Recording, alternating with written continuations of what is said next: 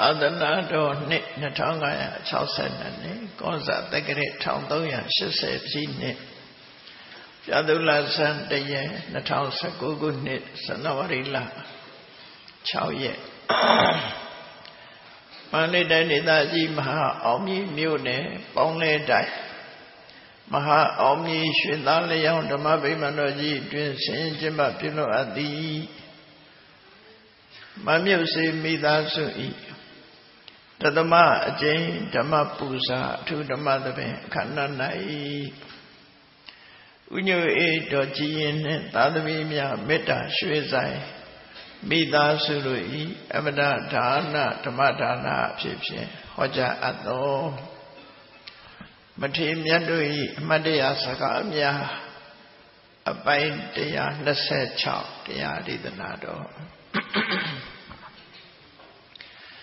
ဒီကနေ့ညတပတ်သဘင်ခန္ဓာကိုရှင်ဘုန်းတော်သခင်ရှင်တော်မြတ်ဖရာ၏မဟာကရုဏာကုံကိုအာယုံပြုကတိကျုဖွဲ့ဆိုအပ်သော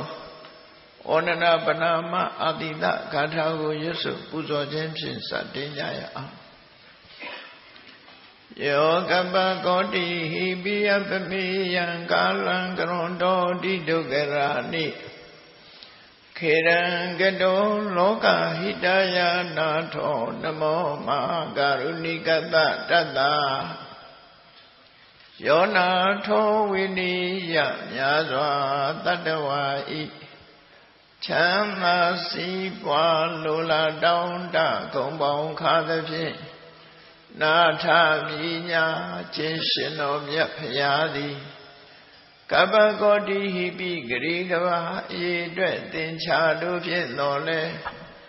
အဘေမေယံရည်တွေ့တိုင်းတာဖော်ပြခြင်းဟာမစွမ်းနိုင်မှသော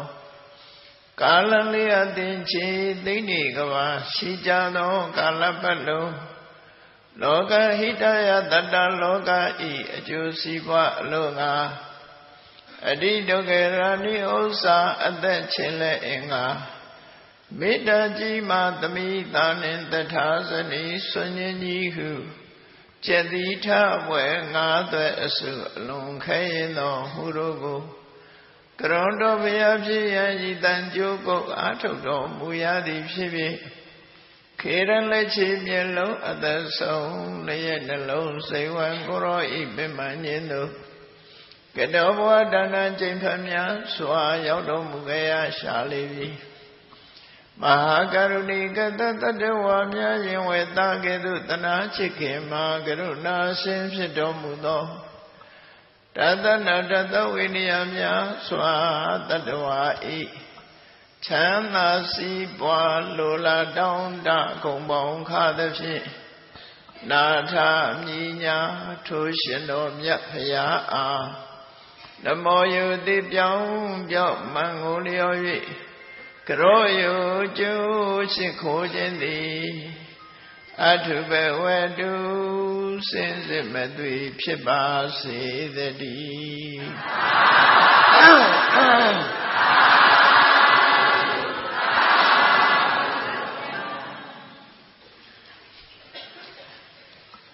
မထေမြတ်တို့၏အမတ်တရားစကားများအပိုင်း126 တရားဓုတရားမြတ်ကိုရရှိသွားကြပြီဖြစ်တဲ့ရဟန္တာပုဂ္ဂိုလ်တို့တွေဟာသူတို့ဘဝအတွေ့အကြုံတွေကိုအမတ်တရားအနေနဲ့ပြောဆိုခဲ့ကြတာဖြစ်တယ်။တပါးနဲ့တပါးတူညီမှုတော့မရှိဘဝခရီးကိုရှောင်လန်းကြတဲ့အခါမှာအတွေ့အကြုံအယူဆထေသအမျိုးမျိုးမှဖြစ်ကြတယ် ဘုန်းကြီးတို့တွေလည်းဘဝခရီးရောက်နေတဲ့အခါမှာဘဝသင်္ကန်းစာတစ်ခုယူတဲ့အနေနဲ့မတန်းနာယူချမှာတော့လူတိုင်းလူတိုင်းဟာဘဝတစ်ခုရလာပြီဆိုရင်တရဝမှန်သမျှဟာအကောင်းနဲ့အဆိုးနှမျိုးတဲ့ပြုလုပ်မိတတ်တယ်ပေါ့နော်ကောင်းတာလည်းလုံးမိတတ်တယ်မကောင်းတာလည်းလုံးမိတတ်တယ်လုံးသင့်တာလည်းလုံးမိတတ်တယ်မလုံးသင့်တာလည်းလုံးမိတတ်တယ် ပြောသင့်တာတွေလည်းပြောပြောမိပြောတတ်တယ်လို့မပြောသင့်တာတွေလည်းပြောမိတတ်တယ်အဲ့ဒါလို့အကောင်းဆုံးနှမျိုးလုံးမိနေခြင်းဟာဘာကြောင့်လဲလို့ဆိုအတိညာရဲ့ရှင်းကျက်မှုအတိညာရဲ့ဆူရှမှုအားနည်းလို့ပဲမသိလို့ပဲလို့သူတို့ဆိုရမှာဖြစ်တယ်ဘဝရောက်လာတဲ့အခါမှာ ကိုယ့်ရဲ့ပတ်ဝန်းကျင်ကလှုပ်ထိုင်ထားအောင်လိုက်ပြီးတော့လှုပ်လို့ရှိကြလူငယ်လူရွယ်လူဘဝရလာတဲ့အခါမှာကိုယ့်ရဲ့အသက်အရွယ်ကြီးတဲ့အပေါင်းအသင်းတွေလှုပ်ထားကိုလူတွေကလိုက်ပြီးလှုပ်လို့ရှိကြတယ်ပေါ့နော်အတုမြင်တတ်သိင်ဆိုတာလို့လှုပ်ကြအဲ့လိုလှုပ်တဲ့အခါမှာလှုပ်တင်သလားမလှုပ်တင်ဘူးလားဆိုတာလို့ ခွဲခြားသိနိုင်ဆိုတာမရှိကြတော့ဘူးခွဲခြားသိဖို့ဆိုတာတာမန်ပုဂ္ဂိုလ်ဖို့မလွယ်မလွယ်ကူဘူးပေါ့အေးဒါကြောင့်မို့အခုလိုဘဝမျိုးမှာအသိပညာကိုစ조사ပြီးစီးပူအထောက်ကြမှာဖြစ်တယ်ပညာကိုစီးပူအထောက်တယ်ဆိုတာဘာနဲ့စီးပူအထောက်ရမှာလဲပညာရအောင်ဘယ်လိုလုပ်ရမှာလဲလို့ဆိုရင် အရေးအကြီးဆုံးကတော့ဘာလို့ဆိုလို့ရှိရင်ပညာရဖို့အတွက်နိလန်လေးတွေဆိုတာအဆောပြဟောတာရှိလူတော်လူကောင်းနဲ့ဒီပညာရှိပုဂ္ဂိုလ်မျိုးကိုချင်းကပ်တာအကြောင်းတစ်ခုချင်းကပ်သည့်အတွက်ကြောင့်သူစီကအကြံကောင်းဉာဏ်ကောင်းအသိပညာတွေကိုရရှိတာဒါအပြင်ဘက်ကအကြောင်းနှစ်ခုလို့ခေါ်တယ် external condition ပညာရှိသူတော်ကောင်းနဲ့ချင်းကပ်ခြင်းနဲ့ပညာရှိသူတော်ကောင်းထံကဆုံးမကိုရရှိခြင်းဆိုဒီနှစ်ခုပြင်မှာကိုယ်တိုင်နှလုံးသွင်းပြီးတော့လိုလားခြင်းနဲ့ကိုယ်တိုင်လက်တွေ့ဆောင်ရွက်ခြင်းဆိုတဲ့အချက်နဲ့ချက်အလုံးပေါင်းလိုက်တဲ့အခါ၄ချက်လို့ဆိုလိုတယ်နော်။တော့ပညာရဖို့အတွက်ပညာရှိတဲ့ပုဂ္ဂိုလ်နဲ့ ပညာရှိတဲ့ပုဂ္ဂိုလ်ချင်းကပ်ဖို့လိုတယ်။ဒါကြောင့်မို့ဒီကနေ့ခေတ်မှာလည်းပဲမိဘတွေကဆရာကောင်းသမားကောင်းတွေကိုကိုသားသမီးတွေကိုအနှံ့ကြဝေကျေတနာအကုန်ကြခံပြီးကြောင်းကောင်းကောင်းထားကြတယ်ဘာအတွက်လဲဆိုရင်ပညာရဖို့အတွက်လုပ်ကြတာအဲ့လိုလုပ်တဲ့အခါမှာသူတို့ရဲ့သင်ပြမှုကြောင့်အဲဆရာကောင်းသမားကောင်းတွေရဲ့သင်ပြမှုကြောင့် နားလေသဘောပေါက်ပြီးအသိပညာစတင်ရရှိလာအဲ့ဒါလိုရရှိဖို့ရအတွက်ကိုယ့်ရဲ့အရေးချင်းကဘာလို့ဆိုရင်ခရုတစိုက်လူလူလာလာနာယူမှတ်သားခြင်းရဲ့ကြိုးကြိုးစားစားသင်ယူခြင်းရဲ့တို့အဲ့ဒီနီလန်လေးသွဲ့နဲ့လုံးဝပညာစွာရအဲ့ဒီမဲ့မြတ်စွာဘုရားက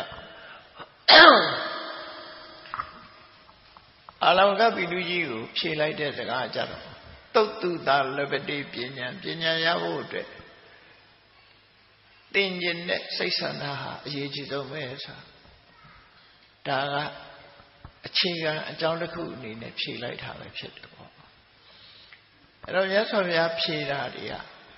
အရေးပါတဲ့အရာတွေပဲအဲ့ဒါကိုထပ်ချက်ပြီးတော့ဆန္ဒရှိလာရင်ဘာလုပ်ရမလဲ နော်သင်ကြားခြင်းနဲ့ဆန္ဒရှိလာလို့ရှင်သင်ပေးနိုင်တဲ့ဆရာစီစီကရမှာပေါ့သင်ပေးနိုင်တဲ့ဆရာစီစီကမယ်သူ့ရဲ့သင်ပေးမှုတွေကိုနာယူရမယ်အေးသင်ကြားမှုတွေကိုကိုယ့်ရင်နဲ့နှလုံးထဲရောက်အောင်နှလုံးသွင်းဆင်ခြင်ရမယ်ဆွဲဆွဲမြဲမြဲဖြစ်အောင်နားလည်သဘောပေါက်အောင်ကြိုးကြိုးစားစားမှတ်သားရမယ်ဆိုဒါဟာမြတ်စွာဘုရားညွှန်ပြထားတဲ့ လမ်းကြောင်းလေးတွေပဲဖြစ်တယ်ပေါ့ဘဝတစ်ခုရလာပြီဆိုရင်အဲ့ဒီပညာရလာပြီဆိုတဲ့အခါမှာဘာသုံးကြလဲလှုပ်တဲ့နာနဲ့မလှုပ်တဲ့နာခွဲခြားသိတယ်ဆိုရှိအဲ့ဒါကိုခွဲခြားမသိဘူးဆိုရင်မလှုပ်တဲ့နာကိုလှုပ်တဲ့နယ်ထင်တယ်လှုပ်တဲ့နာကြမလှုပ်တဲ့မှုထင်တယ်ထင်သည့်အတွက်ကြောင့်ဘာဖြစ်တော့မှားယွင်းကုန်တယ်ပေါ့မလှုပ်တဲ့နာလှုပ်လို့အပြစ်ဖြစ်တယ် လှုပ်တဲ့နာမလှုပ်ဖဲနေသည့်အတွက်ကြောင့်အကျိုးဆုပ်ယုတ်တယ်ရရမယ်ဟာမရတော့ဘူးဒီလိုဆိုလို့ပေါ့နော်အဲ့ဒါကြောင့်မလို့မြတ်စွာဘုရားကလောကသားတွေရဲ့ရေပုံရဆန်ဆန်လောကသားတွေအများကိုခြုံငုံပြီးတော့ပြောတဲ့အခါမှာအေးတရဝါရီဆိုတာတရဝါဘဝရောက်လာ လူတွေဆိုတာလူဘဝရောက်လာတဲ့အခါမှာတဲ့ကောင်းတာလည်းလုပ်တယ်မကောင်းတာလည်းလုပ်တယ်လုပ်တယ်ဆိုတာအလုံးကိုခြုံပြောတာကောင်းတာလည်းတွေးတယ်မကောင်းတာလည်းတွေးတယ်ကောင်းတာလည်းပြောတယ်မကောင်းတာလည်းပြောတယ်ကောင်းတာလည်းလုပ်တယ်မကောင်းတာလည်းလုပ်တယ်ဆိုလူတွေမှာဟိုပြုလုပ်မှုလို့ပြောရမယ့်အရာက၃မျိုးရှိတယ်စိတ်နဲ့လှုပ်တာကိုမနောကလို့ခေါ်တယ် နှုတ်ကထုတ်ပြောတာကိုဝစီကလို့ခေါ်တယ်ကိုယ်ဒီလျက်လှုပ်တာကိုကာယကလို့ရှိအဲ့ဒီကံ၃ပါးတွာရ၃မျိုးကနေပြီးကံ၃မျိုးနဲ့ကိုယ်ရင်တဲ့နှလုံးထဲမှာအကောင်အဆိုးဆိုတဲ့အကြောင်းတရားတွေရောက်ရှိသွားတာမကောင်းတဲ့စိတ်နဲ့လှုပ်တာတွေမှန်သမျှမကောင်းမှုအကုသိုလ်ဖြစ်ပြီးကောင်းတဲ့စိတ်နဲ့လှုပ်တာမှန်သမျှကောင်းမှုကုသိုလ်ဖြစ်သွားတယ် အဲ့ဒါလို့ဖြစ်သွားတာဟာသူ့ဟာသူဖြစ်သွားပြီးအရေးမပါဘူးလားလို့ဆိုတော့အမတမအရေးပါတယ်ကိုယ့်ရင်နဲ့ဖြစ်သွားတာဘလောက်အရေးပါဥပမာတစ်ခုလူတယောက်ဟာမစင်မကျင်နဲ့ကိုယ်နဲ့မတည့်တဲ့အစာအာဟာရကိုစားလိုက်တယ်မျိုးချလိုက်တယ်ကိုယ့်ရင်နဲ့ရောက်သွားပြီဖိုက်ထဲရောက်သွားပြီအဲ့ဒီကအကျိုးသက်ရောက်မှုဖြစ်လာတဲ့အခါမှာအစိတ်ဆိုရင်သူဒုက္ခရောက်နော် ကောင်းကျိုးချမ်းသာကိုဖြစ်စေမဲ့အရာဆိုရင်သူ့အတွက်နေတို့ထိုင်လို့ပိုကောင်းတာအဲ့ဒါလိုပဲတွေးလိုက်မိတာလဲရှင်ထဲမှာရောက်သွားတယ်နှုတ်ကထုတ်ပြောလိုက်ရင်လည်းရင်ထဲမှာရောက်သွားတယ်ကိုယ်ဒီလဲရောက်လှုပ်သွားရင်လည်းရင်ထဲမှာရောက်ကြတယ်အကုန်ကိုယ်ရင်ထဲမှာရောက်သွားတယ်ဆိုတာဟာပျောက်ပြက်သွားတာမဟုတ်ဘူးကိုယ်နဲ့သက်ဆိုင်သွားပြီအဲ့ဒါကိုမြတ်စွာဘုရားက ဟောတာရှင်းရှင်းလေးပဲဥဘောပုံညင်စပပင်စယမစ္စောကုရုတိဣထာဘဝတခုရလာတဲ့အခါမှာတဲ့သရဝါဟာကုသိုလ်လည်းလုပ်တာပဲအကုသိုလ်လည်းလုပ်တယ်တဲ့ဟုတ်ပြီအဲ့ဒီလုပ်သမျှကုသိုလ်အကုသိုလ်တွေကဘာဖြစ်လဲလုပ်ပြီးပျောက်သွားသလားလို့ဆိုတင်ညိတတတက္ကံဟောတိ အကောင်းပဲဖြစ်ဖြစ်ဆိုးပဲဖြစ်ဖြစ်အဲ့ဒီလုပ်သမျှဟာကိုကိုပိုင်ဖြစ်သွားပြီကိုယ့်ရဲ့နဲ့ရောက်သွားပြီလို့ဆိုကိုယ့်ရဲ့နဲ့ရောက်သွားတဲ့ဆိုတဲ့ကောင်းတာကကောင်းကျိုးထုတ်လုပ်လိမ့်မယ်မကောင်းတာကြတော့မကောင်းကျိုးပေးလိမ့်မယ်ဒါသေချာပေါ့ဝန်းရှောင်းမဲ့အစာစားရင်ဝန်းရှောင်းတော့မှာပဲသေချာနော်ဘိုင်းနာမဲ့အစာစားပြီးဘိုင်းနာမှာပဲဒါအေးအဲ့ဒါလို့ ကိုနဲ့သာသက်ဆိုင်ပြီးကိုပဲခံရဖို့ကိုပဲဆိုင်ရဖို့ရှိတယ်ဒါဖြင့်တခါမှားတာဒီဘွားတွေပြီးသွားလားတခါလုံးလိုက်တဲ့ကုသိုလ်ပဲဖြစ်ဖြစ်အကုသိုလ်ပဲဖြစ်ဖြစ်ရှင်ထဲမှာရောက်သွားတဲ့ကုသိုလ်အကုသိုလ်ဆိုတဲ့ကံတရားတွေဟာဒီတဘဝလုတ်ပြီးသွားတာနဲ့ပြီးရောလားလို့ဆိုမပြီးဘူးတင်စအာရယခိစတိ ဒီဘဝမှာကြိုးစားပြီးရှာဖွေထားတဲ့ရွှေတွေငွေတွေကိုစုဆောင်းထားတဲ့ရွှေငွေရတနာတွေတိဆောက်ထားတဲ့တိုက်အိမ်ကြီးတွေကိုပိုင်ဆိုင်တဲ့အရာတွေဟာမျက်စိလေးနှလုံးမမိတ်ခင်ပဲပိုင်ဆိုင်ခွင့်ရှိမျက်စိနှလုံးမိတ်ထားတဲ့ပိုင်ဆိုင်ခွင့်တွေအကုန်ပြောက်သွားတယ်နောက်ဘဝထီအောင်မလိုက်ဘူးနော်ဒီဘဝရှာထားသမျှ ရှာထားသမျှပစ္စည်းဥစ္စာတွေဟာကိုယ်နဲ့အတူမလိုက်ဘူးသိကြကိုယ်နဲ့အတူမလိုက်ဘူးအလုံးထားတော့မင်းတို့မင်းကြီးမန္တလေးမြို့တည်သွားလေပြီးထားသွားတာသူနေခဲ့တဲ့ဆန္နန်းတော်ကြီးကိုသူသားတိဘောမင်းကနေပြီးတော့ရွှေနန်းတော်ကျောင်းဆိုပြီးတော့ကျောင်းဆောက်လှူလိုက်တယ်သူမနေဘူးလေအဲ့ပေါ့နော်အဲ့ဒါမင်းတို့မင်းနေသွားတယ်ပြတ်တာပဲ ကြည့်ချင်းအဲ့ဒီသွားကြည့်ရွှေနန်းတော်ကျောင်းဆိုတာတကယ်မင်းတို့မင်းတကယ်နေသွားတဲ့အဆောက်အဦအဲ့ဒါနော်အဲ့ဒီပုံမှာနေသွားတာအဲ့ဒါမီးမလောင်မနဲ့ပင်ကိုယ်တိုင်းရှိတယ်ဟာနော်ရှေ့ဆောင်လိုက်တော့မီးမလောင်ရွှေနန်းတော်ကျောင်းကြီးကအဲ့ထားပြစ်ခဲ့ပြီလေသူကုန်း26နှစ်လောက်တိုင်းပြည်ကိုအုပ်ချုပ်သွားတာစန္နန်းတော်ကြီးတိဆောက်ကုန်းထားပြစ်ခဲ့ အဲ့ဒါလိုပဲဘသူပဲဖြစ်ဖြစ်ပိုင်ဆိုင်မှုတွေအလုံးထားပြစ်ခဲ့သို့တော့ကိုယ့်ရင်နဲ့ရောက်သွားတဲ့ကောင်းမှုမကောင်းမှုဆိုတဲ့ကံတွေကြတော့ပါသွားလိမ့်မယ်တဲ့တင်္စအာရယကိစ္စတိအဲ့ဒါယူသွားမှသိကြတယ်ယူသွားရတယ်ဆိုတာကိုကယူတာမဟုတ်ဘူးကိုနဲ့အတူပါနေမှာလို့ပြောတာနော်ကိုနဲ့အတူလိုက်ပါနေမှာ နောက်ဘဝတွေမှာပါလာမှာတဲ့အဲ့တော့ကံတရားရဲ့သဘာဝကိုမြတ်စွာဘုရားဟောတာအဲ့တော့ဘုန်းကြီးတို့တွေနေ့စဉ်အမြဒီတက်ရှင်ပြီးတော့ဘဝမှာရုန်းကန်နေကြတဲ့အခါမှာကုသိုလ်လုပ်တာများသလားအကုသိုလ်လုပ်တာများသလားကိုယ်စိတ်ထဲမှာကုသိုလ်စိတ်ဖြစ်တာလားအကုသိုလ်စိတ်ဖြစ်တာလားအမြဲတမ်းမပြတ်ဆင်ញင်စဉ်းစားပြီးတော့ အကုသိုလ်စိတ်ဖြစ်နေအောင်ကြိုးစားကုသိုလ်စိတ်ဖြစ်နေအောင်ကြိုးစားဒါမှကိုယ့်ဘဝချမ်းသာဒုက္ခအတွက်စိတ်ချမှာဖြစ်တယ်နော်အဲ့ဒါလို့မဟုတ်ဘဲနဲ့မိမိလျော်ရော့ပြောသလိုနေပြီးကောင်းတာလားမကောင်းတာလားလည်းမသိဘူးကိုကြိုက်တာလုပ်တယ်ကောင်းမကောင်းကိုမရွေးဘူးကြိုက်မကြိုက်နဲ့သွားတယ်အစာစားတဲ့အခါမှာလည်းလူတွေဟာကိုယ်ခန္ဓာကိုယ်အတွက်သိမသိစဉ်းစားတာမဟုတ်ဘူးကြိုက်မကြိုက်နဲ့ဆုံးဖြတ်ကြတာပဲနော် ဝက်သားမတည့်ဘူးဆိုရင်ကြိုက်ရင်စားတာပဲလေနော်စားတာမကြိုက်ဒီမကြိုက်ဘူးဆိုရင်တော့ရှောင်တယ်ကြိုက်ရင်ကတော့မတည့်ဘူးဆိုလဲစားတာဟုတ်လားပြီးတော့မှစိတ်တောက်မယ်စိတ်တောက်ပြီးတော့နောက်မှဖြည့်ရှင်းမယ်ဆိုသူကအများစုဟောဝါဝစားပြီးသေမယ်ဆိုတဲ့လူတွေကလည်းအများစုပဲစားမှာပဲရှောင်တဲ့သူကအနည်းစု အဲ့ဒါလိုပဲမကောင်းဘူးဆိုတဲ့အကုသိုလ်ကိုယ်ဒုက္ခပေးလိုက်မယ်ဆိုတဲ့အကုသိုလ်ဒါလုံးရတာပျော်စရာကောင်းတယ်ဆိုလှုပ်တာပဲလေမကောင်းတဲ့အကျိုးပေးမယ်ဆိုလေပျော်ပျော်လို့လှုပ်တာကောင်းမှုကုသိုလ်ကြတော့ပင်မခက်ခက်ခဲတယ်လှေရေစည်းတန်တဲ့မြည်ရည်မှာရေဆန်တက်ဖို့ကြတော့ကြိုးစား ရေဆုံကြတော့မျောလိုက်ရုံပဲအကုသိုလ်လုံးဟာမျောလိုက်ရတယ်လို့သိလွယ်တယ်နော်ပျော်စရာလည်းကောင်းတယ်လှုပ်လို့လည်းကောင်းလှုပ်လိုက်ကြကုသိုလ်ကြတော့ရေဆန်တက်ရတယ်လို့ခက်ခဲမှုတွေတွေကြုံတယ်ဒါကြောင့်မို့လောကလူတွေအများစုကြည့်မယ်ဆိုရင်ကောင်းတာနဲ့မကောင်းတာမကောင်းတာလုပ်သူကများဒီလိုဆိုလို့ရပေါ့နော်ဟုတ်ပြီကိုကိုကိုတနာပြီဆိုရင်တဲ့ရသော်ဗျာ အတ္တနင်စေပိယံစင်ညာလူတွေကကိုယ့်ကိုတမိုးထားကြတယ်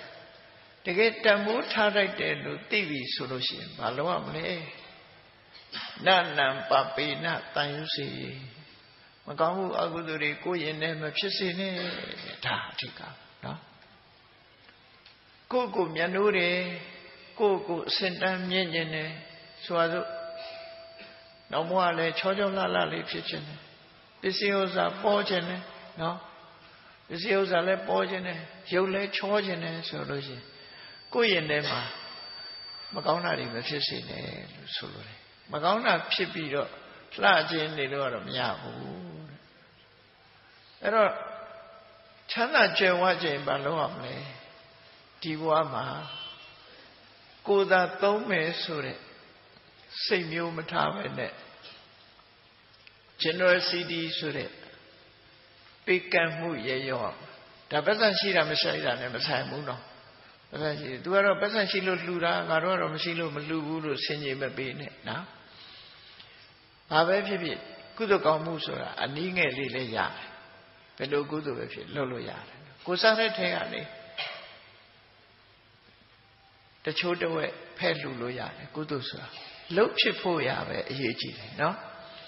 ကိုယ်အိမ်လာတဲ့လူရေလေးတစ်ခွက်တိုက်ဒါကြောင့်မို့လို့မကားတွေဝလင်္ကာမှာပြောထားနော်မန္တလေးဆရာတော်ကြီးကရေအေးတစ်စက်ရေစီလေးတစ်စက်နော်ရေအေးတစ်ခွက်စီတစ်စက်နဲ့စီကြတော့ဘာလို့တစ်စက်တုံးဆိုလက်ဖက်ထဲဆန်းစားဖို့ပြောတဲ့ဟာဖြစ်လိမ့်မယ်နော်အိမ်မှာရေစာလို့ဆိုရင်ရေအေးတစ်ခွက်စီတစ်စက်နဲ့လက်ဖက်တရိုးတဲ့ဟုတ်တယ် စီလေးနဲ့လက်ဖက်ရိုးလေးတရိုးတစ်ခါစားလေးကြံတချိုးတဲ့တစ်ချောင်းလုံးတောင်တူတာမဟုတ်ရေအေးတစ်ခွက်စီတစ်စက်နဲ့လက်ဖက်တရိုးကြံတချိုးမြတ်တဒါနဟူသည်မျက်နှိုးကြည့်ပြုဒါနဟူသည် ကုသိုလ်ကောင်းမှုရရပြုလောဒါနကောင်းမှုနဲ့ပတ်သက်ပြီးအလိုလုံးလို့ပြောတယ်နော်အများကြီးလူမဒါနမဟုတ်ဘူးယင်ထဲကရှင်းရှင်းနဲ့ဒီလူအပုဂ္ဂိုလ်ကျ လူရမျိုးဒါနကုသိုလ်လို့ခေါ်တယ်အဲ့တော့ဒါနကုသိုလ်ဖြစ်မယ်ဆိုအများကြီးဖြစ်နိုင်တယ်ပေါ့အဲ့တော့နောက်ဘဝချမ်းသာကြွယ်ဝခြင်းဒါနကုသိုလ်လုံးဝမှာပဲနောက်ဘဝရုပ်ချောခြင်းတော့စိတ်ပုတ်စိတ်ယုံမမွေးနဲ့စိတ်မတူနဲ့နော်ဉာဏ်ရမေတ္တာဘာဝနာပွားပြုံးပြုံးလေးနေအဲ့ဒါပါနော်အဲ့ဒါနောက်ဘဝရုပ်ချောခြင်းအကြောင်း ဒါမြတ်စွာဘုရားဟောတာတဲ့ကမ္မတကတတ္တာကမ္မံတတ္တိဝိပစ္စတိယတိတဟိနပဏိတန္တကံကနေခွဲရန်ချသွားတယ်လူတွေရဲ့အဆင့်တန်းကိုကံကနေခွဲသွားတယ်ဒီလူကတော့ရုပ်ဆိုးစေဒီလူကတော့ဟုတ်လားဒီလူကစိတ်ပုတ်တဲ့လူရုပ်ဆိုးစေစိတ်ကောင်းရှိတဲ့လူတွေရုပ်ချောစေဆိုပြီးတော့ကံတရားကပဲကိုယ့်ရင်နဲ့ဖြစ်တဲ့ကံတရားလေးခွဲခြားသွားတာဒါကြောင့်မို့အကောင်းကြိုက်သလား ကိုဘဝမှာကောင်းတာပဲရချင်သလားဆိုလို့ရှိရင်မလုပ်ရမလဲအတ္တနေစေပိယံစဉ္ညာနနံပပိနတန်ယူစီမကောင်းတာတွေနဲ့ကိုယ့်ကိုမကောင်းတဲ့စိတ်တွေမမွေးနဲ့ကိုယ့်ရဲ့နဲ့မကောင်းတဲ့စိတ်တွေမရောက်စေနဲ့ဘာကြောင့်မရောက်စေနဲ့လို့မြတ်စွာဘုရားဟောရတယ်လို့ဆိုနာဟိတံသူလဗံဟောတိဒုက္ခံဒုက္ကတာကာရိနာ မကောင်းတာလုပ်ပြီးချမ်းသာဒုက္ခရဖို့ရမလွယ်ဘူးတဲ့နော်စိတ်ကဖြင့်တိုးလိုက်တာရုပ်ကလည်းချောကျင်လိုက်တာဘယ်တော့မှမချောစိတ်တိုးရင်ရုပ်ပုံပါပဲဒါနော်ချမ်းသာခြင်းအနာလည်းလွန်လိုက်တာနှမျောလိုက်တာလည်းပဲရေတစ်ခွက်တောင်မတရာဘူးဆိုရင်ဘယ်တော့မှချမ်းသာဖို့မရှိဘူးအဲ့ဒါနော်အဲ့ဒါကိုပြောတာ အဲ့တော့ဒါကြောင့်မို့မြတ်စွာဘုရားကုသိုလ်ကောင်းမှုလို့ဆိုလူဘဝရလာတဲ့အခါမှာဘာပဲဖြစ်ဖြစ်ကုသိုလ်တစ်ခုခုကိုလုံးမိလို့ရှင်အဲ့ဒီကုသိုလ်ရဲ့အကျိုးတရားဟာလူတိုင်းလူတိုင်းမှာကြုံတွေ့ခံစားရတာဖြစ်တယ်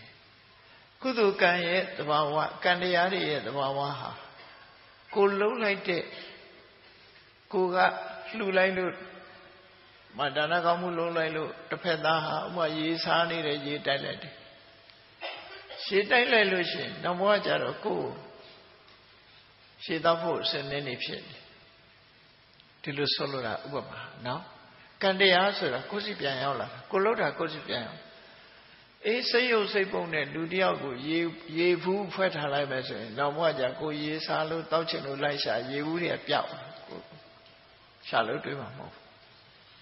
ကိုလှုပ်ခဲ့တာကိုယ်စီပြန်ရောက်တယ်လို့သူတို့ဆိုတယ် ကိုလုပ်ခဲ့တာတွေကကိုယ်စီပြန်ရောက်တတ်တယ်အဲ့ဒါကြောင့်မို့လို့တစ်ဖက်သားနဲ့တွေ့လာလို့ရှိရင်တစ်ဖက်သားကိုအကျိုးပြုတဲ့ဟာပဲကိုယ်စိတ်ထဲမှာမေတ္တာအခြေခံထားပြီးတော့အကျိုးပြုတဲ့လုပ်ပဲလုပ်မယ်တစ်ဖက်သားကောင်းစားစေခြင်းနဲ့ဆိုရယ်စိတ်တတ်တဲ့မေတ္တာစွမ်းအားနဲ့နေကြရမှာဖြစ်တယ်အဲ့ဒါဆိုရင်ကောင်းတာလုပ်ပြီးမှသိချတယ်ပေါ့ ကိုလွတ်တဲ့အတိုင်းကိုစီပြန်ရောက်လာတာဒါကံကြမ္မာရဲ့ဓမ္မတာပဲကိုလွတ်တဲ့အတိုင်းတစ်ဖက်သားပေါ်မှာအကျိုးသက်ရောက်သွားကိုလုံးလိုက်လို့တစ်ဖက်သားပေါ်မှာအကျိုးသက်ရောက်သွားတယ်အဲ့ဒီအကျိုးသက်ရောက်မှုစီကိုစီကူပြောင်းလာတယ်ဒါကံကြမ္မာရဲ့ဓမ္မတာလို့သူတို့ဆိုအဲ့တော့ကောင်းတာရခြင်းနဲ့မကောင်းတာတွေရှောင်ရှားခြင်းနဲ့ဆိုလို့ရှိရင် အဓိကဘာလို့ဆိုကိုယ်စိတ်ကိုဆုံးမသွန်သင်ပြီးတော့မေတ္တာဆိုတဲ့ရည်ရွယ်ချက်ကောင်းကောင်းကရုဏာဆိုတဲ့နှလုံးသွင်းကောင်းကောင်းမုရိတာလို့ခေါ်တဲ့အိတ်တမစ္စရိယကင်းစင်ပြီးတော့တစ်ဖက်သားအပေါ်မှာ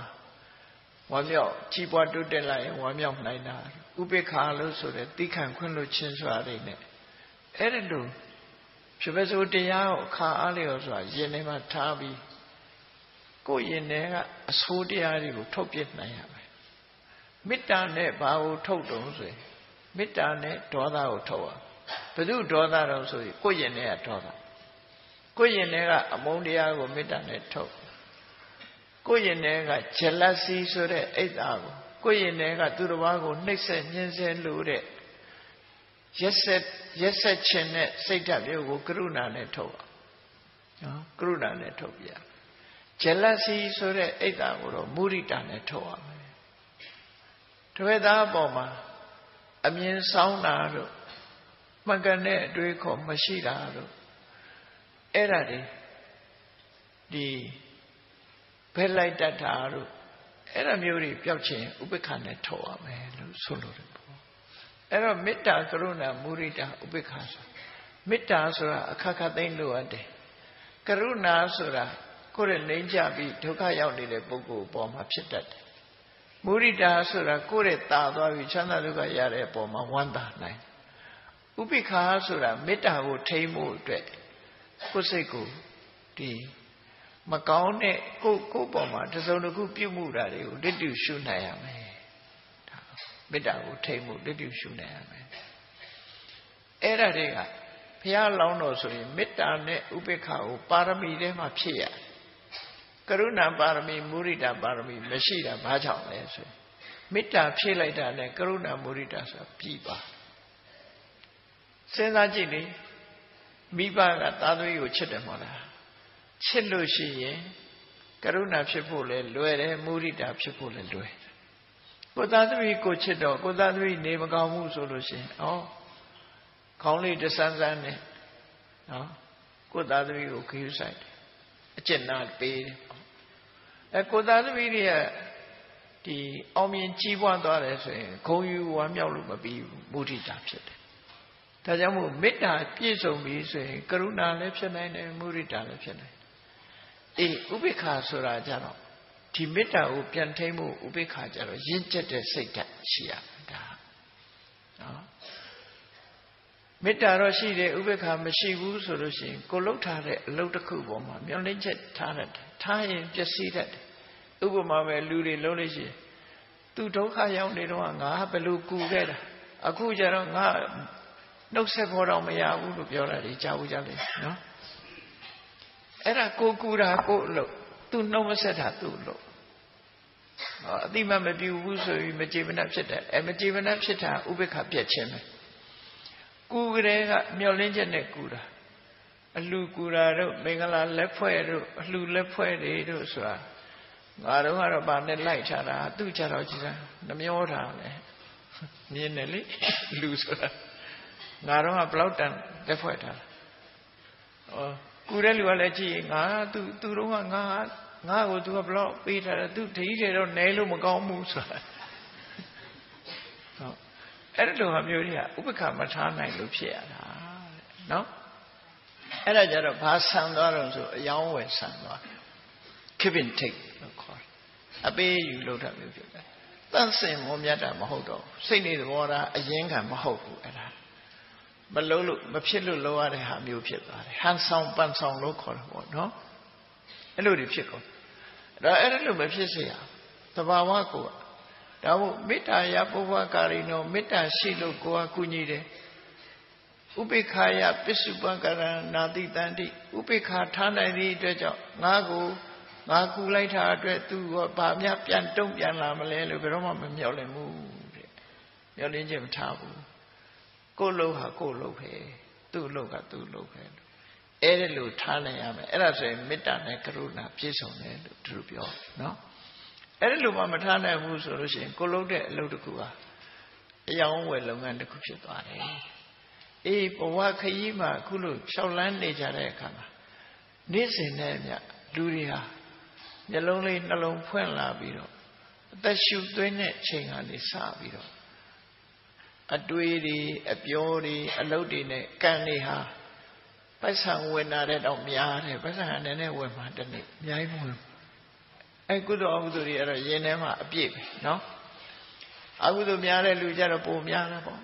ကုသိုလ်များတဲ့လူကနည်းပါတယ်ဝင်းနေမှာပဲ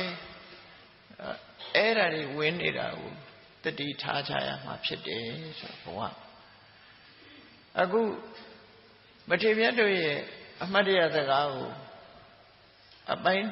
126မှာပြောတဲ့ပုဂ္ဂိုလ်ရဲ့မထေမြတ်ရဲ့ဘွဲကတော့သူကတေကိစ္စကာရီတဲ့တိကိစ္စဆိုတာတိကိစ္စကုသခြင်းလို့ခေါ်တယ်မကြမ်းမလုပ်တဲ့ပုဂ္ဂိုလ်တွေကိုဆေးကုသပေးတာတိကိစ္စအဲ့ဒီသူဟာကုသကောင်းမှုတစ်ခုလုပ်ခဲ့သည့်အတွက်ကြောင့်ဒီဘဝမှာ ကုသသူဆိုတဲ့အတိတ်ပဲနဲ့သူ့နာမည်ကိုပေးထားတာဖြစ်တယ်ဒီပေးတာလည်းပဲသူလုပ်ခဲ့တဲ့ကုသိုလ်ရှိတယ်သို့တော့သူ့ကိုမိခင်ဝမ်းထဲမှာတရေတွေ့ကြတဲ့ကဟောဆေးဆရာနဲ့သူ့ကိုကုမခဲ့ရတယ်အခုလည်းရှိပါတယ်လူတွေလေကိုဝန်အတွင်းကလေးကကုစားပေးနေရတဲ့လူမျိုးကရှိတယ်လေသူလည်းအဲ့လိုကုစားခဲ့ရတယ် ဒါပေမဲ့လို့သူ့ဘဝအစဖော်ပြတဲ့အခါမှာသူဟာလူဘဝမှာဘယ်ချိန်ကစပြီးသူ့ကိုမတန်တင်လာတော့ဆိုဒီစာပေထဲမှာ60နဲ့တကဘာတို့ကဝိပဿနာမြတ်စွာဘုရားပွင့်တယ်အဲ့ဒီဝိပဿနာမြတ်စွာဘုရားပွင့်တဲ့အချိန်မှာသူဟာလူဘဝရောက်ရှိလာပြီးတော့ဆေးပညာကိုလေ့လာလို့ဆေးအတက်တက်ကြွနေပေါ့နော် ဆေးတက်တွက်ကြတယ်အဲ့တော့ဆေးပညာဆိုတာအာယုဝေဒလို့ခေါ်တယ်ပေါ့ဆေးကြတတ်တယ်ရှေးခေတ်ကလေးရှိအာယုဝေဒဆိုတာအသက်ရှည်ရာရှည်ချောင်းကျမ်းမာရာကျမ်းမာချောင်းဒီလန်းကောင်းတွေကိုအာယုဝေဒလို့ခေါ်အဲ့ဒီပညာရတတ်တဲ့အခါမှာကိုတတ်တဲ့ပညာနဲ့သူကမကြမ်းမာတဲ့ပုဂ္ဂိုလ်တွေကိုခုသပေးတယ်တဲ့အထူးသဖြင့်ကတော့ ဝိပဿနာမြတ်စွာဘုရားကိုပြုစုလုပ်ကြွေးတဲ့ဒီအတောကဆိုတဲ့ပထေတပါမကြမ်းမမှာဖြစ်နေတာ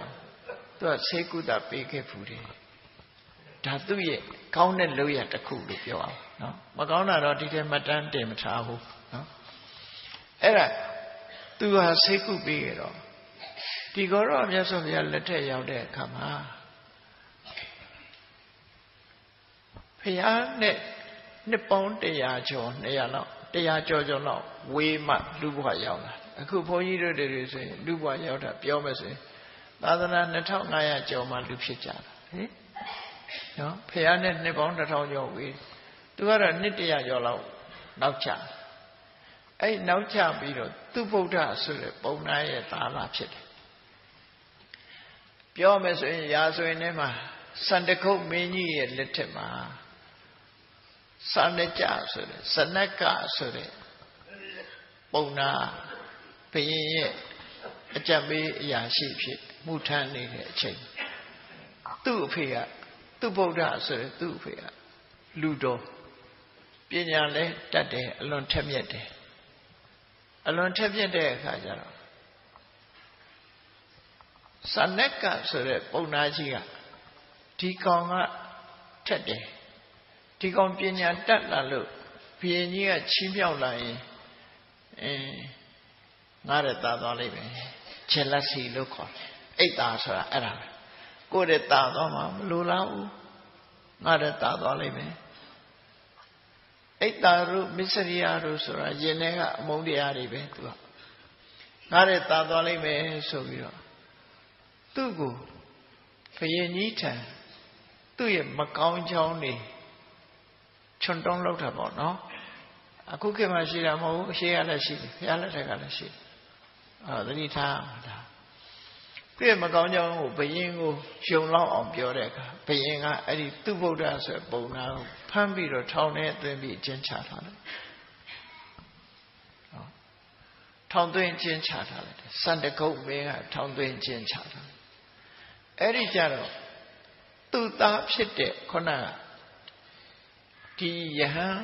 ယဟန္တာလောင်းတိတ်ကိစ္စကာလီဆိုတဲ့အမျိုးသားဟာအဖေဖမ်းပြီးထောင်ချတယ်ဆိုသားသမီးရတယ်ကြောက်တာပေါ့တော့ကြဆွေမျိုးစင်ဆက်လိုက်လာတတ်တယ်လေကျူပင်ခုတ်ကျူကုတ်တော့မကြံရဘူးဆိုတဲ့ရှင်းကအဲသူ့အဖေဖမ်းလိုက်ပြီဆိုရဲတော့ကြောက်ပြီးတော့ထွက်ပြေးသွားဘယ်သွားတော့ဆိုတော့တော်ထဲမှာသတင်းသုံးနေထိုင်တဲ့တာဏဝါတိဆိုတဲ့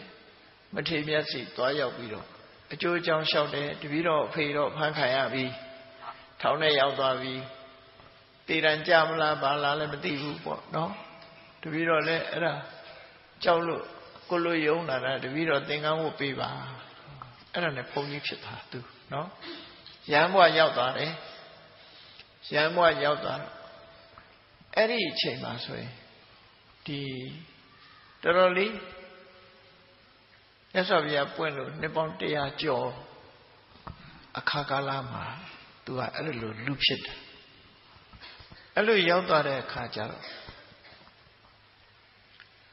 တဏ္ဍဝါတိမထေရကသူ့ကိုတရားဓမ္မဟောပြောပြီးတော့ဘုန်းကြီးကိုပြီးတယ်ကမ္မထာနေသင်ပေးတယ်သူကမ္မထာတရားအထုတ်တယ်ကမ္မထာတရားအထုတ်တယ်အထူးသဖြင့်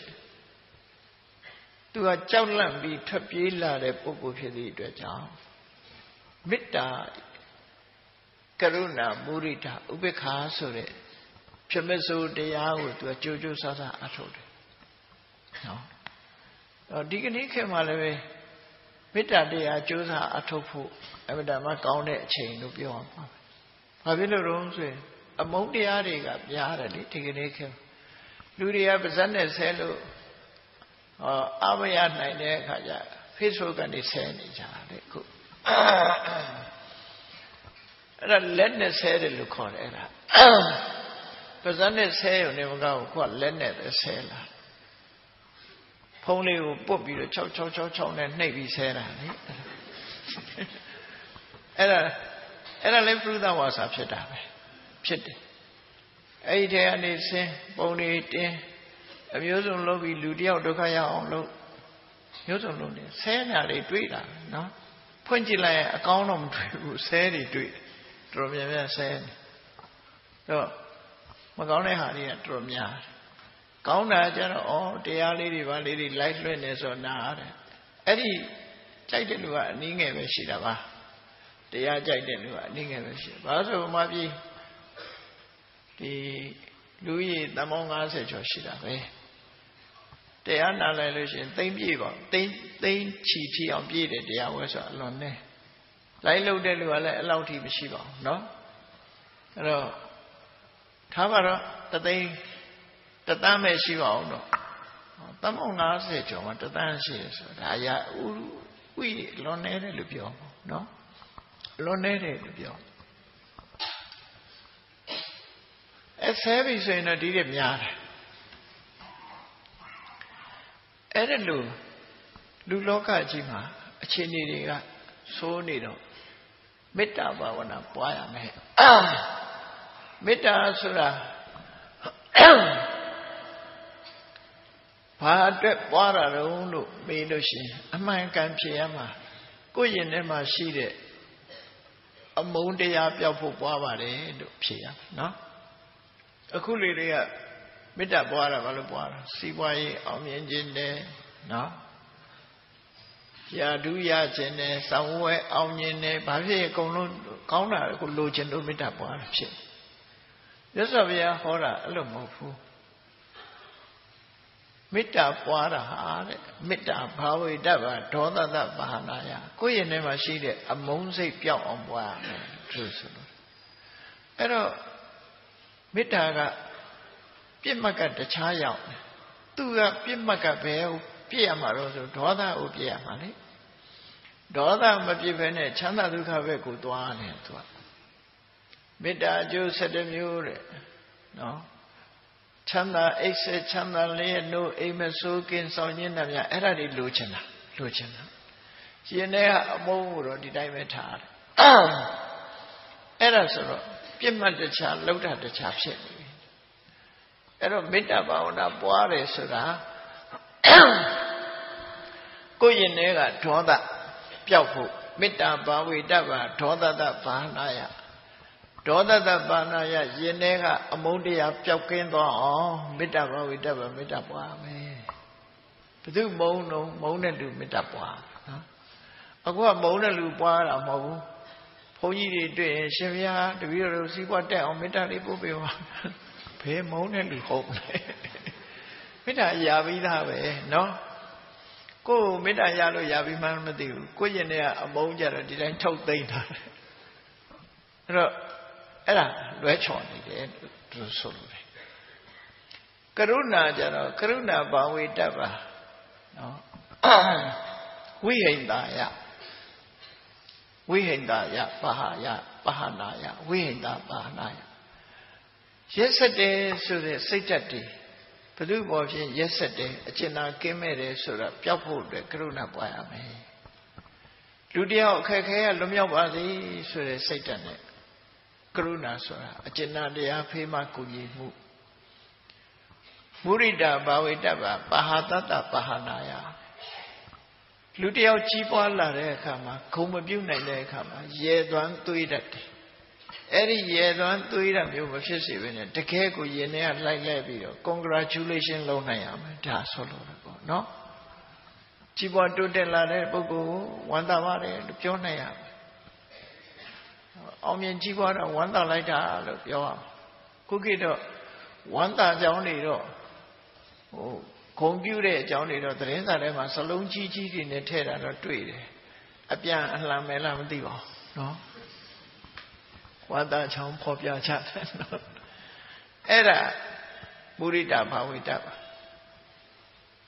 ဥပိ္ခဘာဝိတပါဆိုတော့ကြတော့အလုံးဟာကံတရားတိုင်းပဲသူကနဲ့သူသွားကြမှာငါကမုန်းနေနဲ့လကားပဲငါချစ်နေနဲ့လကားပဲချစ်ချင်းမုန်းချင်းမထားပဲနဲ့ငါလှုပ်တဲ့နာလှုပ်မယ်နော်သူ့ပေါ်မှာအပြစ်လည်းမယူဘူးအချစ်လည်းမယူဘူးနှစ်ခုမြတ်တစွာဆက်ဆံမယ်ဆိုတာကြတော့ဥပ္ပခ အဲ့ဒါလို့ယင်ထဲမှာမေတ္တာကရုဏာမုရိဒဥပ္ပခတီဆောင်းလိုက်ရင်လူရဲ့စိတ်ဓာတ်အမှန်တမ်းကောင်းသွားတယ်အေးဒါကြောင့်မို့ကောင်းမြတ်တဲ့စိတ်တွေကိုမွေးရမှာဆိုပြီးဒီတေကိစ္စကာရီဆိုတဲ့ယဟန်တော်ဟာအဲ့ဒီပြမစိုးတရားကိုအဓိကထားပြီးတော့သူစ조사အထုတ်တယ်တဲ့မေတ္တာကရုဏာမုရိဒဥပ္ပခအဲ့ဒါလို့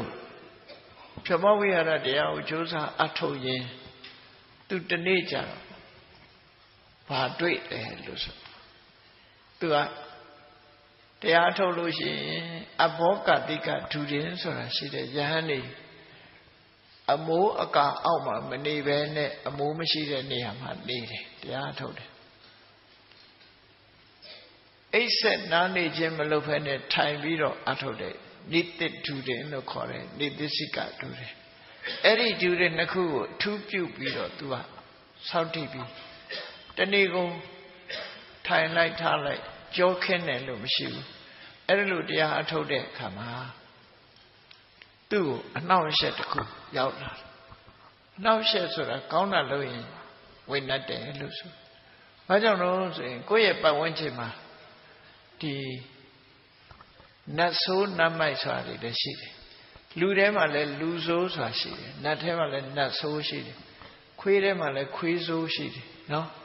ခွေးဆိုးရှိခွေးကောင်းလည်းရှိခွေးဆိုးလည်းလူထဲမှာလည်းလူကောင်းရှိသလိုလူဆိုးလည်းရှိနတ်ထဲမှာလည်းပဲနတ်ကောင်းရှိသလိုနတ်ဆိုးရှိအဲ့တော့လူဆိုးဆိုတဲ့ကောင်ကလည်းလိုက်ထုတ်ခတ်ပေးတာလေခွေးဆိုးဆိုတဲ့ကောင်လည်းဟိုလူကြိုက်ဒီလူကြိုက်ပဲလေအဲ့တော့နတ်ဆိုးဆိုတဲ့ကောင်လည်းပဲခိုလူကိုနှိမ့်ဆက်ဒီလူကိုနှိမ့်ဆက်ဒါသဘာဝပဲ လောကကြီးမှာဘာအကြောင်းကြောင့်မှမဟုတ်ဘူးအဲ့လိုအဆိုးမကောင်းတဲ့အချက်တွေပါပြီးတော့လူတယောက်ကိုနှိမ့်ဆက်ရမှ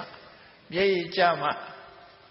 သူတို့ကပြောတဲ့ပုံပုံမျိုးတွေလောကကြီးမှာရှိတယ်ပေါ့နော်အဲ့ဒီတော့နတ်ဆိုးကသူ့ကိုဘာလာပြောလဲသူတရားအထုတ်နေတာကိုပြက်အောင်လို့သူပြောလိုက်တဲ့စကားကဘာလို့ဆို ဒီပါဠိမှာမှတ်တမ်းတင်ထားတဲ့အတိုင်းပြောရမယ်ဆိုရင်အတိဟိတဝီဟိ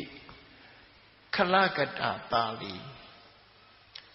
နာသလပိပိဏံကထမဟံကတ္တံသူပြောလိုက်တာကပြောင်လောင်တဲ့သဘောမျိုးနဲ့ဂျုပ်လုပ်တယ်ပေါ့လေခုခေတ်လူတွေပြောင်းတဲ့သဘောပေါ့စဘာတွေပဲတွေကလည်းအကုန်လုံးကိုတော်နဲ့ရောက်ကုန်ပြီတဲ့ တလေးစပါးတွေကလည်းအကုန်လုံးအခုကတလင်းနဲ့ရောက်ကုန်ကြပြီတလင်းနဲ့ရောက်ကုန်ပြီငါဘယ်လိုလုပ်ပြီးတော့ဆွမ်းရပါမလဲအလုံးဟာဆွမ်းချက်စရာတွေအလုံးဟာကိုရောင်နဲ့ရောက်တလင်းမော်ရောက်နေဖြစ်နေတယ်အဲ့တော့နတ်ဆလပေပိဏံဆွမ်းခံလို့လည်းဆွမ်းမရဘူးတဲ့ကထမဟာကသငါဘာလုပ်ရပါမလဲ ဘုန်းကြီးတစ်ပါးညီးတဲ့ပုံလုပ်ပြီးတော့နတ်ဆိုးကလုတ်ပြတာနော်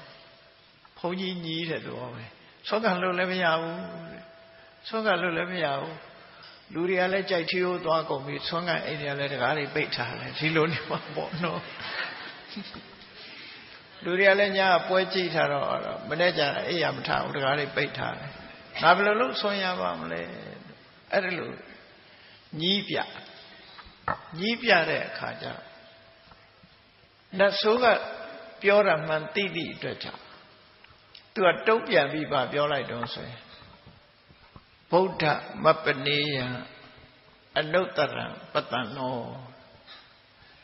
ဆွမ်းရတာမရတာငါဘာမှခရီးမဆိုင်ဘူး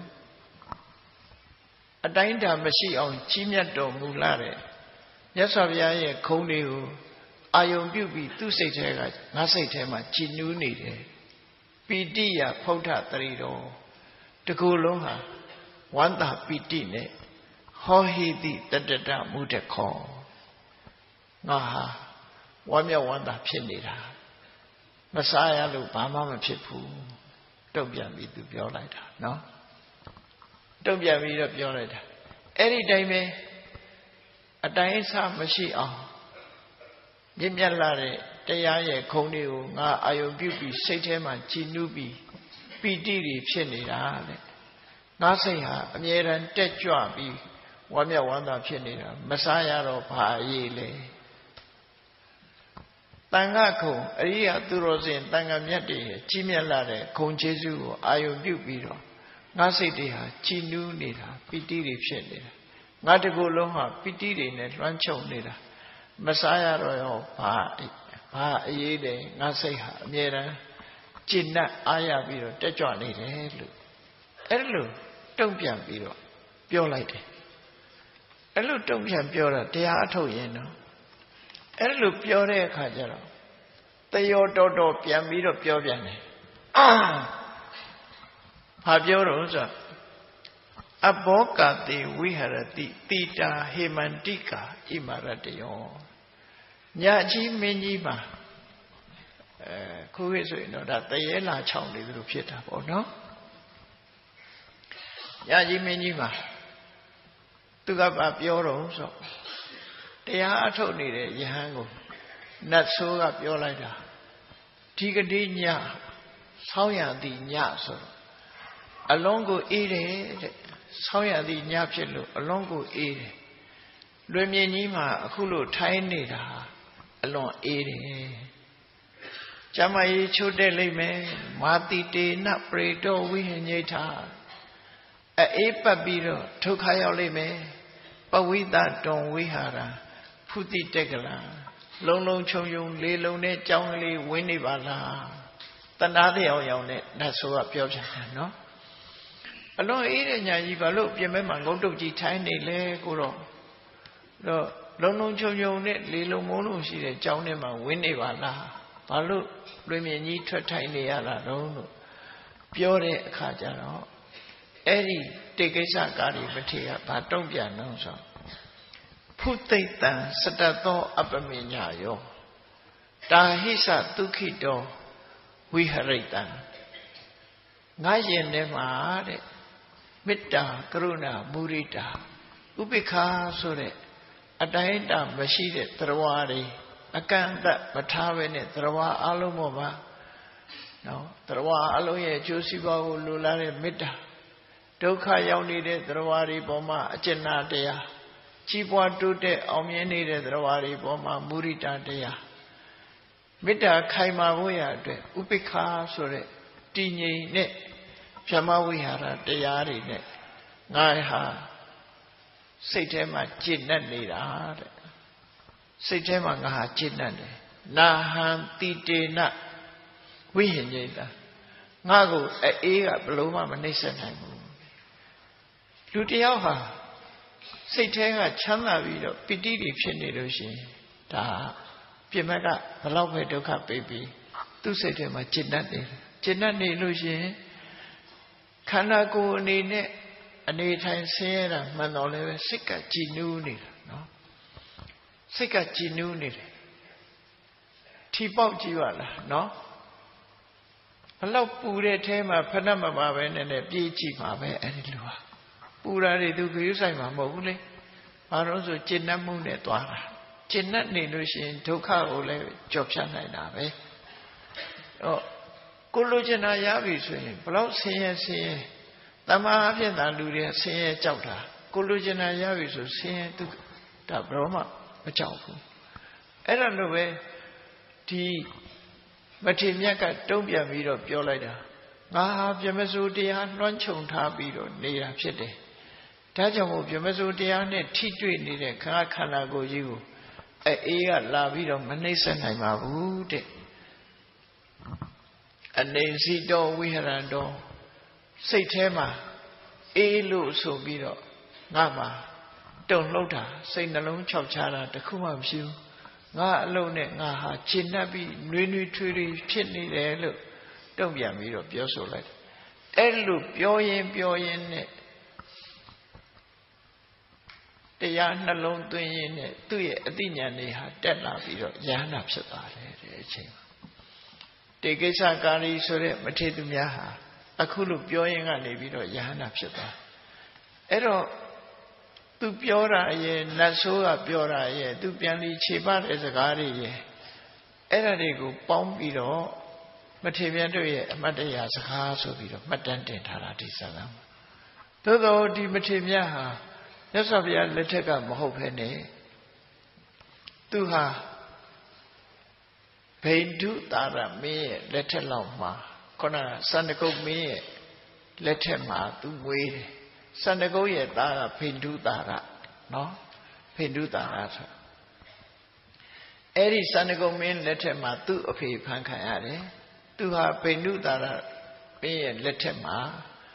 ဟိုထင်ရှားတဲ့ပုဂ္ဂိုလ်ဖြစ်လာတယ်အဲ့တော့တတိယသံဃာနာတင်တာအတောကမင်းကြီးလက်ထက်ကျမှတင်တာဖိန္ဒုတာရရဲ့သားဖြစ်တဲ့အတောကရဲ့လက်ထက်မှာတင် အဲ့တော့သာသနာနှစ်ပေါင်း263လောက်ဖြစ်ပြီဆိုမှသံဃာနာတင်တာတတိယသံဃာနာတင်တော့အဲ့ဒီအချိန်ကျမှဒီဇလန်းလေးကိုပိဋကစာပေထဲမှာထည့်သွင်းပြီးတော့မှတ်တမ်းတင်ထားတာတဲ့ဟောမှတ်တမ်းတင်ထားတော့လေသိခွင့်ရတာပေါ့နော်ဖះလက်ထက်ကအဖြစ်ပြက်မဟုတ်ဘူးမြတ်စွာဘုရားပြိဋိဘံစံပြီးတဲ့နှစ်ပေါင်း100ကျော်200လောက်မှာမှတ်တမ်းတင်တဲ့ 200လောက်မှာမှတ်တမ်းတင်တာ100ကျော်လောက်မှာဖြစ်တယ်အဲ့ဒါလို့ဆိုတယ်ပေါ့နောက်ပိုင်းမှာဝင်လာတဲ့မထေမြတ်တို့ရဲ့အမတ်တရားစကားမှာတေကိစ္စကာရီမထေမြတ်ရဲ့အမတ်တရားစကားကိုအချင်းချုပ်ပြီးတော့အနှစ်ထုတ်ကြည့်မယ်ဆိုလို့ရှိရင်ကိုယ်လုပ်ငန်းပေါ်မှာစိတ်ဝင်စားပြုလုပ်တာဖြစ်တဲ့ပုဂ္ဂိုလ်တယောက်ဟာနော်ကိုယ်လုပ်ငန်းနဲ့မှန်ကန်တဲ့လုပ်ငန်းတစ်ခုပေါ်မှာစိတ်အားစိုက်ပြီးတော့ကြိုးစားသည့်အတွက်ကြောင့် သူဟာကြည်နူးဝမ်းသာမှုတွေနဲ့ဘသူနှောက်ယှက်နှောက်ယှက်နောက်မဆုတ်ခဲနဲ့မှန်ကန်တဲ့လမ်းကြောင်းအတိုင်းကြိုးပမ်းအထောက်သွားသည့်အတွက်ကြောင့်လမ်းဆုံးပန်းတိုင်အရတ္တဘုနိဗ္ဗာန်ထိအောင်ရောက်ရှိသွားတယ်ဆိုတာသူကပေးတဲ့ဘဝသင်္ကန်းစာပဲဖြစ်တယ်ပေါ့တရားချစ်ခင်သူတော်စင်ပြိဿပေါင်းတို့မထေမြတ်တို့ရဲ့အမတ်တရားစကားဒီစကားတွေကိုနိုင်မှတ်သားပြီးမိမိတို့ဘဝမှာလည်းပဲအကောင်းဆုံးဖြစ်အောင် တို့တွေကြိုးစားအထောက်ကြမှာဖြစ်တယ်လို့ကိုယ်စီကိုယ်စီစိတ်ဝင်စားကကြိုးစားအထောက်နိုင်ကြပါစေကုန်သတည်း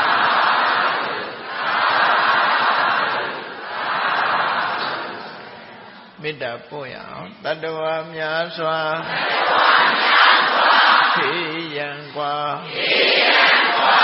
ချမ်းသာကြပါစေချမ်းသာကြပါစေတတ္တဝါများစွာ တတ္တဝါများစွာခေယံကွာခေယံကွာချမ်းသာကြပါစေချမ်းသာကြပါစေမေတ္တာရေချမ်းမေတ္တာရေချမ်းသောငါဖြံသောငါဖြံသင်္ကြံကြပါစေသင်္ကြံကြပါစေမေတ္တာရေချမ်းမေတ္တာရေချမ်းသောငါဖြံသောငါဖြံသ င်္ကြံကြပါစေသင်္ကြံကြပါစေသက်ရှိချမ်းမာသက်ရှိချမ်းမာစိတ်ချမ်းသာစိတ်ချမ်းသာတို့ရဆန္ဒပြေပါစေတို့ရဆန္ဒပြေပါစေသက်ရှိချမ်းမာသက်ရှိချမ်းစိတ်ချမ်းသာလူရဆန္ဒပြေပါစေ ဘုံလန္တာဒုက္ခပင်္ဂစာမေတ္တာပုံနေတုသင်္ကမမနောတရတိတဗ္ဗေတံဘဝယံတုဒုက္ခန္တကမေတ္တာပုံနေတုသင်္ကမစုပေါင်းပုအမေတ္တတဟုရောင်ပြပါဝင်ငွေလာမင်းနှင့်ရောင်ကြီးရှဲယုံပေါင်းဆောင်ရခြင်းကြောင့်သဗ္ဗေတံကျွမဲ့ဥတုံလုံးစုံများစွာတတ္တဝါတို့၏ မနောတရတိမြင်မြဖြူစင်အေးကြည်လင်းသည့်ရေစင်ပြည့်တင်းစိတ်နှလုံးတည်ဟုသောရေအိုင်ကြီးအတွင်၌ဒုက္ခပင်ကသာစင်ထာဝရအေးမြကြည်သာတာယာပွင့်လန်းချမ်းသာဒုက္ခတည်ဟုသောကုမုဒ္ဒရာကြာပန်တို့သည်ဖုံးလန်တော်ဝန္တာရွှေမြူဝမုံလူလျက်ကြည်နူဝဲကြုံဖူးပွင့်ကြကုန်သည်ဖြစ်၍သူကန္တကလေးအောင်လေးတဲ့ရောရှက်သိမ့်ပြန်ပိတိတိဟုသောယနန်တို့သည် ဘဝယံတုကောင်းစွာမဲ့သွေကြိုင်လိုက်၍နေကြပါစေကုန်တည်း